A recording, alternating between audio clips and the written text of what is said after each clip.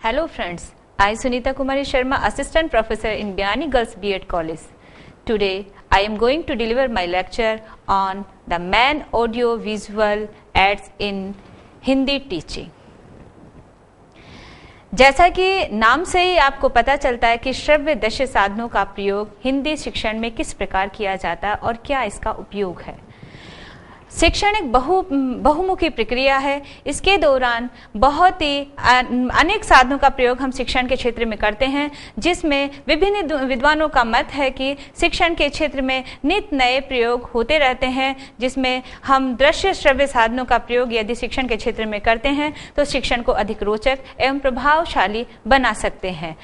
शिक्षण के अंदर जो दृश्य श्रव्य साधनों का प्रयोग हम कर रहे हैं, उनमें नंबर वन आता है शामपट ब्लैक बोर्ड शामपट का प्रयोग शिक्षण के क्षेत्र में बहुत ही रोचक तरीके से किया जाता है। कहा जाता है कि हम शिक्षण के क्षेत्र में शामपट के बिना कुछ भी नहीं कर सकते हैं, क्योंकि एक कक्षा बिना शामपट के बिल्कुल वीरान सी नज़र आने लगती है, क्योंकि शिक्षक का जो सबसे महत्वपूर्ण साधन होता है वो है शामपट क्योंकि शामपट की वजह से ही वो अपना संपूर्ण ज्ञान विद्यार्थियों को लिख करके और दर्शा करके समझा सकता है। बिना शाम पट के वो कोई भी कार्य नहीं कर सकता है। उसी प्रकार से यदि हम दूसरा जो मेथड लेंगे, वो है चार्ट। चार्ट की सहायता से भी जो हिंदी शिक्षण के अंदर शिक्षक प्रयोग करता है, इन चलचित्रों की सहायता से हम एक विभिन्न प्रकार के जैसे वर्णमाला हम बालकों को सिखा सकते हैं तो वर्णमाला भी चार्ट के द्वारा ही हम समझा सकते हैं। जैसे, अ, वर्ण को सिखाने के लिए उसके अनुसार ही हम चार्ट बनाते हैं, उसके अंदर चित्रों को दर्शाते हैं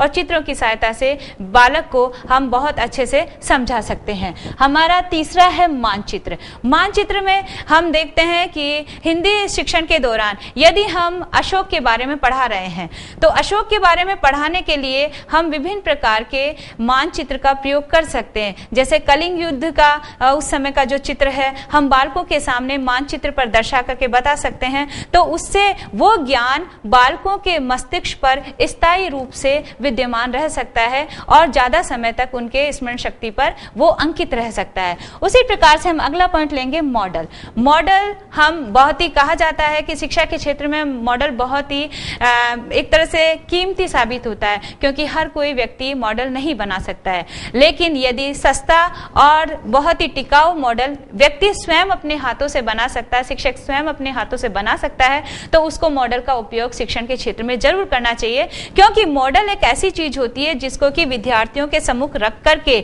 वो चीज़ उनके सामने हम स्पष्ट रूप से समझा सकते हैं। जैसे फॉर एग्ज़ाम्पल हम ले ताजमहल।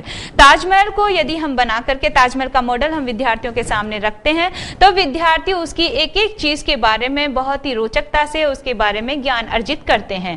ठीक उसी प्रकार से यदि हम चित्र दर्शक लेंगे प्रोजेक्टर तो प्रोजेक्टर में हम स्लाइड्स लेते हैं, जिसमें विभिन्न प्रकार की स्लाइड्स हम बनाते हैं और स्लाइड्स के ज़रिए हम शिक्षण का कार्य करते हैं।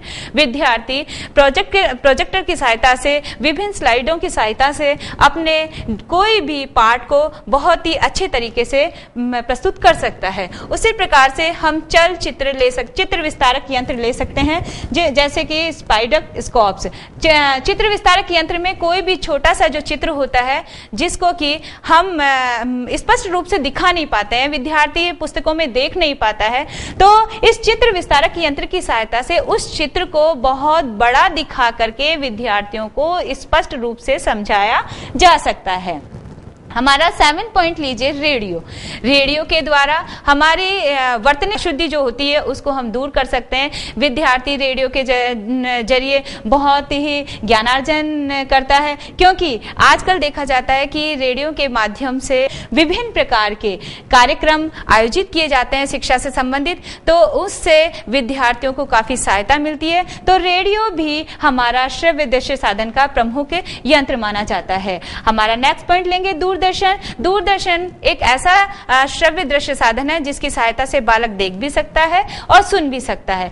क्योंकि इसके द्वारा हम विभिन्न प्रकार के पर्यावरण से संबंधित और लैंग्वेज से संबंधित विभिन्न प्रकार की कहानियाँ, नाटक विद्यार्थियों को दिखा सकते हैं, जिससे कि विद्यार्थियों का मार्गदर्शन भी होगा, साथ ही उनकी रोचकता और ज्ञान वृद्धि भी हो सकेगी। ग्रामोफोन एवं लिंगवाफोन। कहा जाता है कि पुराने समय में ग्रामोफोन और लिंगवाफोन का प्रयोग किया जाता है। वर्तमान समय में इतनी नई नई टेक्निक्स आ गई जिनमें लिंगवाफोन और ग्रामोफोन का उपयोग नहीं हो पाता है। लेकिन आजकल कई गाँवों में हम देखते हैं कि आज भी ग्रामोफोन और लिंगवाफोन का प्रयोग किया जाता है और इसका प्रयोग शिक्षा, हिंदी शिक्षण के क्षेत्र में इसलिए किया जाता है ताकि जो भी वर्तनी शुद्धि वर्तनी संबंधी जो अशुद्धियाँ होती है, उनको लिंगवा फ़ोन की सहायता से हम सुधार सकते हैं।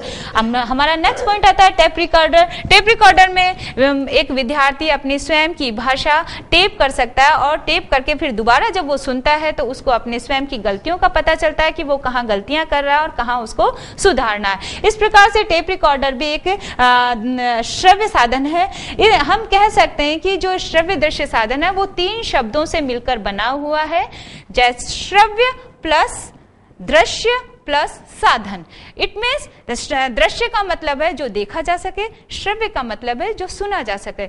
ऐसे साधन जो देखे और सुने जा सकते हैं, उन्हें हम श्रव्य दृश्य साधन कहते हैं। तो वास्तव में वर्तमान स्थिति में जितने भी हमारे शिक्षाविद हैं, वो इसी पद्धति पर ज़्यादा ज़ोर देते हैं कि हमें सबसे ज़्यादा शिक्षा के क्षेत्र में श्रव्य दृश्य साधनों का प्रयोग करना चाहिए, ताकि नई नई टेक्नोलॉजी से विद्यार्थी अवगत हो सके और अपने शिक्षण को बहुत ही अच्छा और सुग्राह्य, सुस्पष्ट बना सके और सभी के लिए उपयोगी सिद्ध हो सके।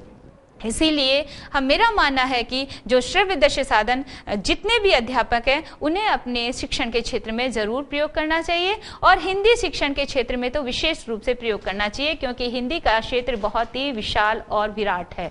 तो हिंदी जैसे क्षेत्र में यदि हम इन प्रयोगों का, इन, दृश्य श्रव्य साधनों का प्रयोग करते हैं तो निसंदेह हमारा ये एक बहुत ही अच्छा साधन होगा, जो कि हिंदी के क्षेत्र में उन्नति का स्रोत होगा। Thank you thank you Thank you. For further detail, please log on to uh.